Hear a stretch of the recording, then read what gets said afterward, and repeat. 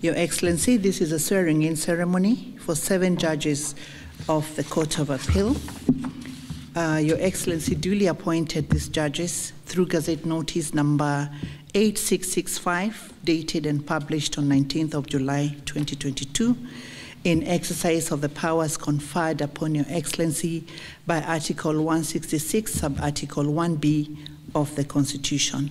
If it pleases Your Excellency, it is now my humble duty to call the designated judges of appeal to take their respective oaths of office. I, Ngenye Grace Wangui, Judge of the Court of Appeal, do swear in the name of the Almighty God to diligently serve the people and the Republic of Kenya and to impartially do justice in accordance with this Constitution as by law established and the laws and customs of the Republic without any fear, favor, bias, affection, ill will, prejudice, or any political, religious, or other influence.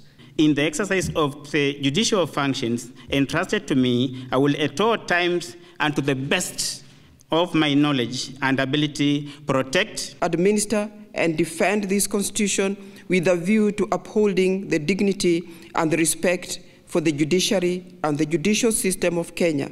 And promoting fairness, independence, competence, and integrity with it. So help me God. With a view to upholding the dignity and the respect for the judiciary and the judicial system of Kenya and promoting fairness, independence, competence, integrity within it.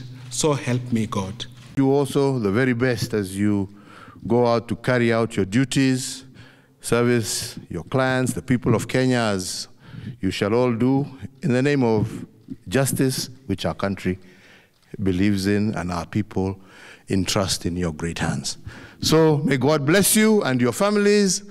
Asante Nisana. Thank you very much.